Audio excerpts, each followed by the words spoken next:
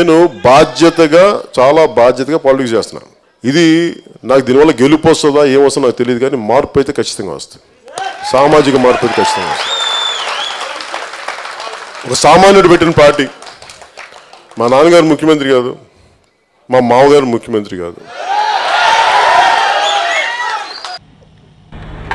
ఇవాళ పవన్ కళ్యాణ్ అనే వ్యక్తి మాట్లాడుతూ ఉన్నా కూడా మనం వినవలసి వస్తూ ఉంది. నిజంగా ఇది మన కర్మ. నాలుగేళ్ళు ఇదే పెద్ద మనిషి చంద్రబాబు నాయుడు గారితోనూ బీజేపీతోనూ ఇద్దరితో కలిసి కాపురం చేశాడు. సంసారం చేశాడు తాను కూడా. నాలుగేళ్ళు. ఆయన ఎన్నికలకు ఆరు నెలల ముందు ఆయన బయటకు వచ్చి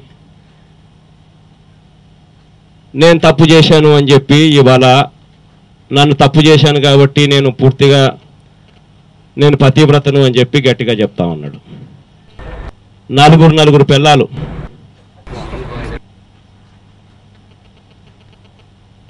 కొత్త కారును మార్చినట్టుగా పిల్లాన్ని మారుస్తాడు. నాలుగేళ్ళకు ఒకసారి ఐదేళ్ళకు ఒకసారి పిల్లాన్ని మారుస్తాడు.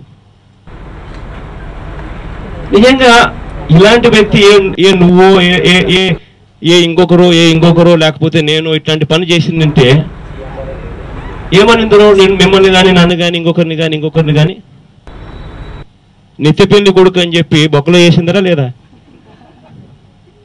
ఇది పాలిగమి కాదా? ఇలాంటి వాళ్ళు ఎన్నికలకు ఆరు నెలల ముందు బయటకు వచ్చి తానేదో సచ్చీనుడని ఇంకొకటని ఇంకొకటని వీళ్ళు మాట్లాడడం.